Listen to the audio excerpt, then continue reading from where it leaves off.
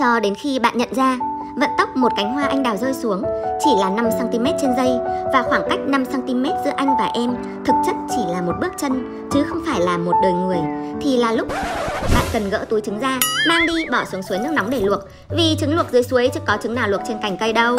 Trứng sẽ chín thật chậm ở nhiệt độ nước nóng thấp dưới 70 độ C và chuyển biến thành kết cấu đặc biệt hoàn hảo trên. Còn cách thứ hai, không cần sang Nhật, cực dễ chỉ cần một chiếc nồi chiên không dầu, 3 bước và 3 giây bấm nút. Mở lòng nồi chiên không dầu, bỏ trứng gà thẳng từ ngăn mát tủ lạnh vào nồi chiên không dầu, bấm nút 65 độ trong 45 phút. Sau khi trứng chín, nếu thích ăn lòng đỏ dẻo mướt, cứ để nguyên cho trứng nguội dần trong nồi. Nếu thích ăn lòng đỏ dẻo chảy, bỏ ngay trứng ra rồi xả nước lạnh và để nguội.